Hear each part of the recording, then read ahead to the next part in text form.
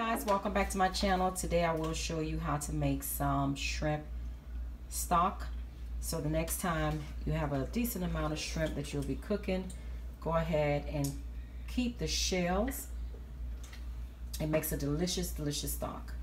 Stay tuned I'll show you what to this pan I'm gonna go ahead or pot.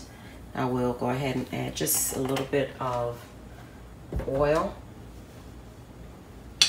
To my oil I will go ahead and add, as is referred to as the Trinity, which is your carrots, onion, and some celery, guys. Okay? I'm gonna cook, cook them down just a little bit.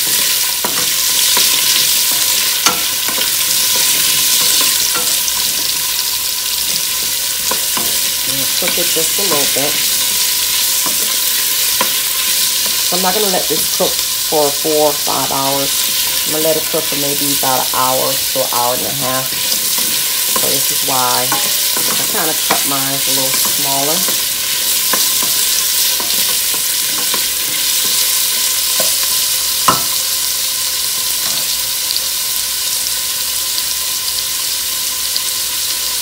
And guys, after a few minutes of this cooking, I'm going to go ahead and add tomato paste. Let's just do it. And, you, and if you want a clear sauce, do not add the tomato paste. We're going to just let this cook down so we can remove some of that raw taste of the carrots and if you don't want to do this on the stove top, stove top, you can go ahead and mix all this together and stick it in the oven for about 15 to 20 minutes and then pull it back out. And that'll be that. This has been cooking for about 10 minutes. Okay, guys. Our onions are starting to get a little soft. So we're gonna cook, get the rest of the way. And here's our shrimp shells, guys, that I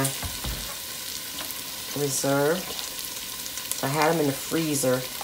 It's, it's been about a month now since they've been in the refrigerator. So what I did is just take it out, let it sit in some water so we can kind of remove the ice. So I'm going to go ahead and add it straight in like this.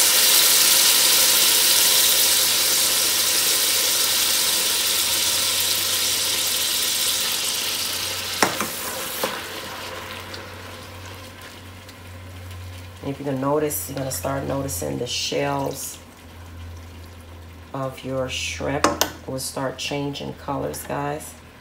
And that's exactly what you're looking for.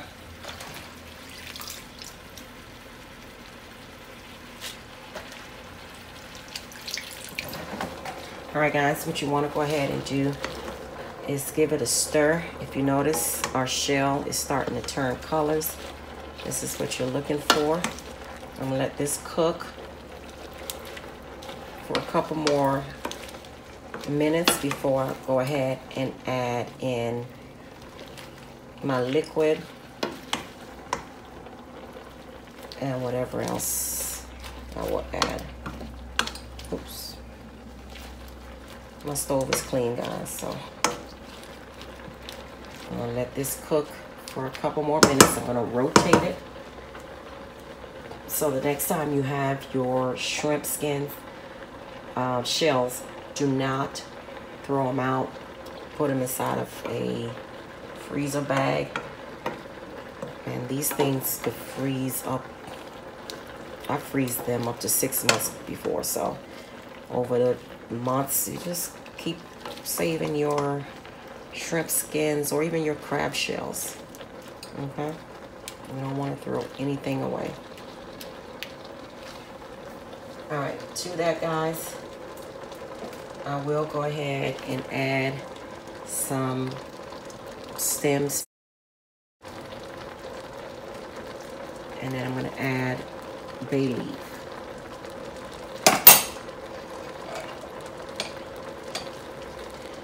You can also add peppercorns to it. Um, so I'm going to just add some peppercorn. Uh-uh. Yeah. Okay, guys. Not a lot. If you had the whole peppercorns, you could just smush them and add that, but I'm just, I grated just a little bit. All right, guys, see how nice and they turn colors. If you could smell this, guys, it smells very good. So to this, I'm gonna go ahead and cover it. Um, cover our shrimp shells with water, guys. We're gonna add water until they're covered.